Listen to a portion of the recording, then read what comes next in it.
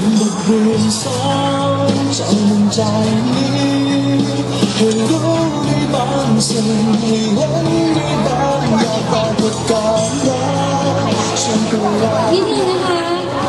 ขอแจ้งเรื่องกิจกรรมของ s อเมื่อกี้นะคะ ก็คือถ้ามาชมภาพยนตร์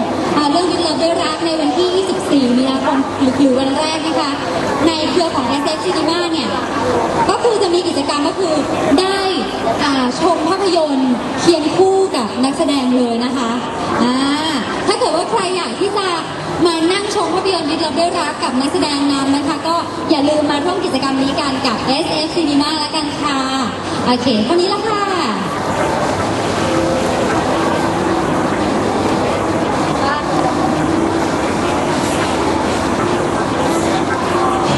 ฉันก็ยัง